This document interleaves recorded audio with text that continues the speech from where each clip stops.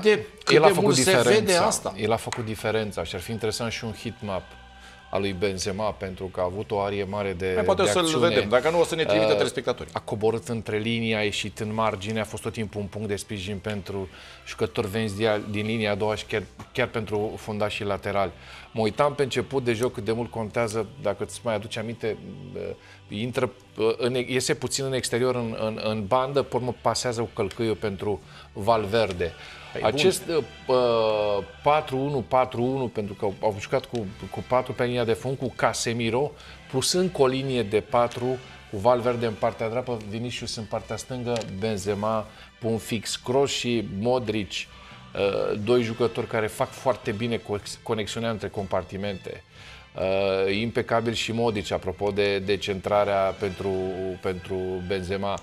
Adică sunt niște relații de joc pe tranziție atunci când intră în posesie. Deci lucrurile au fost foarte clare. Spații reduse s-au retras, dar nu în 20 de metri, apropo, făcând o comparație cu ce a jucat Atletico Madrid, undeva între 25 și 40 de metri, cu jucători cu personalitate care, în momentul când recuperau, plecau foarte bine pe contraatac. Și a fost o combinație foarte bună în stânga acolo, Karim Benzema cu... Deci, dacă la primul gol, Karim Benzema două pasă de, un- de, de undeva de pe la vreo uh, 50-60 de metri în pas lateral pentru, pentru Vinicius. Uh, centrare, el apare undeva în care cu capul la colțul scurt. După care vedem și... Imediat o să reluăm, o să reluăm golurile și, după care și o să ne uităm pe faza fiecare. asta la, la, a lui Modric, adică centrarea lui Modric este una Eu impecabilă. atât... uh, Asta este marele meu, uh, marele meu dubiu. Suntem într-o perioadă, Gabi, în care... Marele meu dubiu, că nu e dubiu, e așa uh, element de subiect, de discuție. Suntem într-o perioadă în care se spune, domne, echipa, echipa, nu echipa, echipa. Ok, echipa, că fără echipă nu face nimic, că nu-i tenis, nu-i Simona Halep, e totuși fotbal, 11 la 11. Dar fără Benzema, echipa arată într-un fel, Te-am văzut cu Barcelona. cu Barcelona. Cu Benzema încă nerefăcut. I-am văzut cu Celta și cu Benzema, că l-am văzut plin de energie, observa foarte bine Ionuț uh, Angheluță, mi se pare, unul dintre comentatori înainte de me- când a început meciul, ce ce uh, grinta spun Motivat, italienii, ce, ce motivat, motivat, era motivat uh, și Benzema concentrat. și concentrat acolo. Cum e uh, cu chestia? E, un, e incredibil, un atacant uh, perfect. Uh, Golurile pe care le-a marcat, pressingul pe care l-a făcut. La vârsta lui, Benzema e, e ca vinul, știi cum se spune, cu cât mai vechi, cu atât mai bun. Uh, am văzut și un tweet frumos scris de Real Madrid, zice că fotbalul e un joc simplu. 22 de jucători aleargă după o minge, încerc, încercând să o vâneze 90 de minute și Benzema e cel care marchează întotdeauna. Corect. Are, Da, două, e- are două meciuri la rând, Deci- trei goluri. Ascultă-mă, are șapte meciuri în care ori a marcat, ori a, f- a dat asist de 17 ori. Deci el a contribuit la 17 goluri în ultimele șapte meciuri.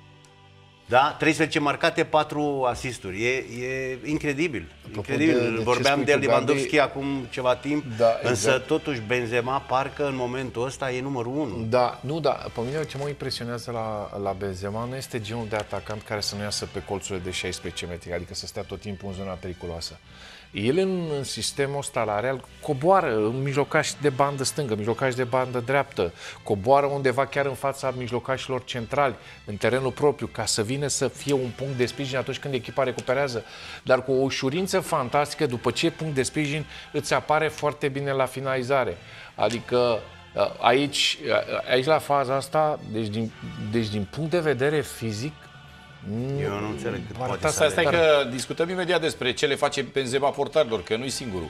Uh, Parcă îi hipnotizează. Uh, E al patrulea portar, uh, dacă îl pun și pe cel de la Atalanta, al cincilea portar, care, Care face gape de genul ăsta, parcă sunt hipnotizați uh, de Karim Da. Benzema. Uh, Ok, e, Totuși trebuie să remarci efortul pe care îl face, Da, asta pressingul spun, da, pe care îl aici- face. Și știi ce îmi place iar Asta mult foarte- la el? De asta câte ori foarte vine bine la din punct de vedere primit, fizic, da. vine la primit de multe ori când echipa e, e presionată în Da, propria da. jumătate și recuperează mingea, vor să iasă, el vine punct de sprijin, o prea, nu o pierde niciodată. Nu, păi- niciodată, chiar dacă e cu spatele la Scoate poartă. maxim de la ține, fiecare acțiune, ține da, exact, mingea, exact. ține mingea și, și imediat joacă cu Da, să știi pe că jucător în cu seara față. asta s-au ridicat la un nivel foarte bun fundașii centrali, uh, s-au ridicat la foarte mult fundașii laterali și Mendy și Carvajal, nu mai spun de Valverde, Modric. Cross Modric și a fost Kroos. util, Bun, eficient, bun. Dar uh, Valverde și Modric, da. capacitate mare de efort. Iar Vinicius aici este faza. Uite de unde dă, el e, fa- face un 2 Da. cu Vinicius, de unde dă și pleacă pe poziție Dar viitoare. și ce lovitură de cap Și are. gândește-te că a fost 1 contra 3. El a jucat un atacant contra la 3 fundași centrale. În, Uite, el pornește... Da, da, de la el, nu, exact. Nu, nu, nu, stai, stai, Dă stai, stai, aici, stai. aici.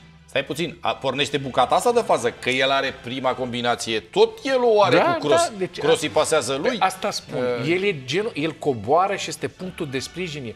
El face multele, în multe momente jocul ăsta simplu cu fața, alege cea mai bună soluție, după care dă și pleacă pe poziție viitoare.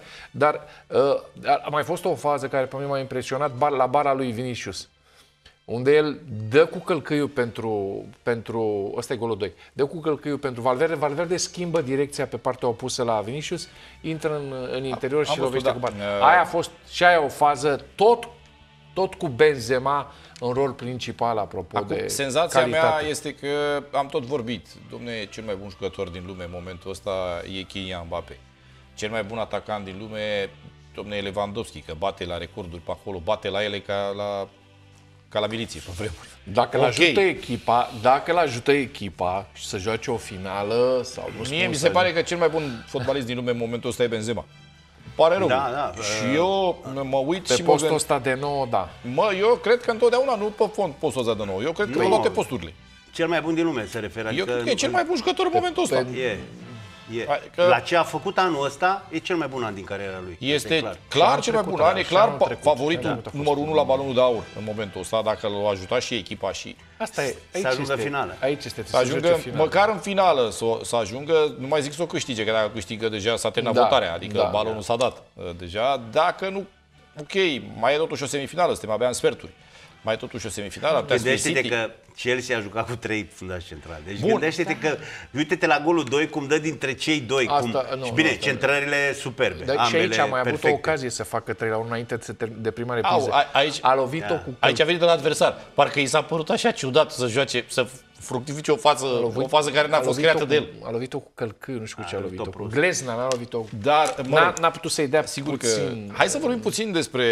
O să ne întoarcem la Benzema și o să, vedem, o să mai vedem uh, niște faze. Uh, hai să vorbim puțin totuși despre Chelsea. Totuși de Eh, Chelsea, eu deținătoarea am, trofeului. am Gabi. spus la început că mi s-a părut curioasă așezarea. Eu aici cred că astăzi Tuchel a, a greșit cu echipa. În primul rând, uh, s-a văzut clar că Chelsea avea nevoie de Lukaku. Trebuia să, să joace cu el de la început, cu Havertz în spatele lui, uh, aveau mult mai multă șansă. Pe urmă, în, în defensiv, uh, l-au băgat pe Aspilicueta în stânga, preferându pe Christensen să stea în dreapta ca să iasă el de multe ori la Vinicius, că James uh, jucase, adică juca mult ofensiv și de multe ori uh, el trebuia să vină la Vinicius, dar nu venea. Și atunci Christensen trebuia să iasă el. E, nu a făcut față jocului lui- de viteza lui Vinicius. Eu cred că aici, a- aici a greșit. Apoi și mijlocașii au fost tot la fel, multe pase greșite. Nu știu, Chelsea, bine, și când vine golul 1, vine imediat și golul 2, e greu ca să Mie mi să s-a părut crești. că la mijloc a fost superioară. Da, la mijloc, da. Realul, adică tot timpul un 3 contra 2 acolo la Jorginho și, și Cante. Adică nici Havertz, nici Mount și nici Pulisic n-au coborât foarte mult să, ajunge atu- să ajute atunci când se pierdea mingea. Uh, iar uh, în momentul în care intrau în posesie cei de la, de la Real, purtători de balon au avut tot timpul, avea una sau două, două soluții. Deci eu cred că aici s-a, s-a rupt. Clar că nici James, uh, Rhys James și nici Aspilicueta pe faza ofensivă, chiar dacă la un moment dat ei aveau să spunem, o posesie de asta controlau și încercau cumva să joace pe lateral, foarte greu să surprindă pe Real în, în, cu, cu centrări în, în careu. Uh, târziu, cred eu, foarte târziu cu Lukaku, se pare că există ceva acolo. Ok, foarte târziu, dar cred că există și cu, jucă- și cu ceilalți, cu ceilalți jucători, că n-a avut Pe a trei schimbat. mingi. Trei mingi a avut. Deci în a prima schimbat, repriză i-a s-au schimbat dat în 275 4-6, de centrări, da. în care, fără să fie Lukaku, Da. Când a intrat Lukaku, nu s-au mai dat centrările Da. respective. Acum știți cum e, ne-am amuzat noi de alea șapte atingerele lui Lukaku sau câte au avut el în meciul ăla de campionat. Da. Ok, dar cred că și colegii au ceva. Au o, au o contribuție la... Da, nu, știi, nu poți să știi Știu și eu, care e planul ăsta atmosfera secund acolo, pe care- ce, ce, cum e el uh, primit în, uh, în echipă. Dar Eu cred că astăzi ar fi trebuit, adică Și acum degeaba Aveai nevoie s-a de un văzut când a pivot. intrat. Aveai S-a nevoie de un văzut când a pivot. intrat, da. bineînțeles. Ai nevoie de un pivot, ai nevoie chiar și în momente de astea mo- în care pe joc direct sau pe, când dezvolți jocul în lateral ai nevoie de un jucător masiv în mijlocul careului. Havertz este într-adevăr, el apare foarte bine la finalizare, e un marcator, dar cu, cu el și Mount sau cu el și Ziyech și cu Lukaku echipa ar fi arătat uh, diferit. Uh, mai este un aspect care mm, el schimbă sistemul. Trecem 4 la pauză. da. Trecem 4. Când de la, da, când la, mi Uh, se pare scoate că- pe Cante, Nu vi se pare că Și echipa asta Christensen? e așa, e o confuzie Da. de când cu Asta problemele, mi-a dat și mie de de când cu înțeles problemele, azi. de când cu problemele pe care le are Abramovici. Ce diferență este între Chelsea astăzi, mai zi de Chelsea din, nu din, de anul trecut, care își ca semifinala. Ok. Chelsea de la începutul Chelsea de la campionat. începutul campionatului. Chelsea astăzi este într-o confuzie totală. Cred că se, acum se gândesc, bă, cine plătește, să duc acolo la vestiare și întrebe, unde își merge, mă, să jucăm? Mă, Acolo. Cine plătește benzină?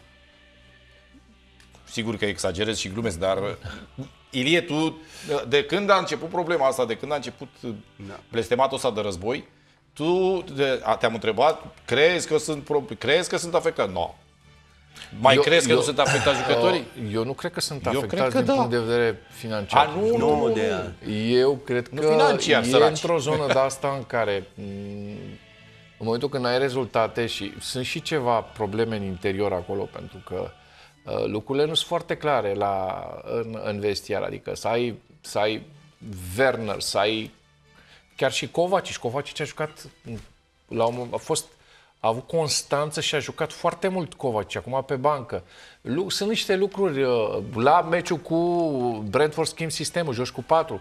Adică sunt niște lucruri care... Cred că și tu, Helen, confuzie. E, asta e e. puțin într-o situație Asta dă de înțeles. de disconfort, mai ales că nu ies. Asta e. e, Da. e, Adică, e Ilie, trebuie să te gândești, doamne, vine cineva, vine un patron nou. Patronul nou poate vine cu un președinte, cu CEO nou, CEO nou vine cu un director sportiv nou, Da. directorul sportiv cu poate vrea un siguranță, antrenor da, nou. cu siguranță se va întâmpla lucrul ăsta. Cum a fost la Bine. Barcelona. A venit, Cu a venit la siguranță. Porta și Nu a e o zis de la problemă început, pentru mie nu-mi Tuchel place că de va Cuba. pleca, pentru că va găsi echipă bună. Sigur, nu-i Are o plângem carte noi de vizită acum. bună acum, nu se pune problema asta. Însă și eu cred că sunt afectați pentru că sunt niște probleme la club care n-au cum să nu-i afecteze. Chestia asta cu deplasările, cu uh, oprirea banilor, chiar dacă uh, nu, nu se pune problemă la nivelul ăsta să nu-și primească până la urmă Da, contractele, nu, dar, nici eu nu- dar e o problemă. Până se va rezolva, îi va ține așa puțin... în- Da, dar problema asta a fost și Tensiune. înainte să apară războiul și înainte să fie chestia Care? asta. Chelsea n-a mai fost în zona aia sus. Da,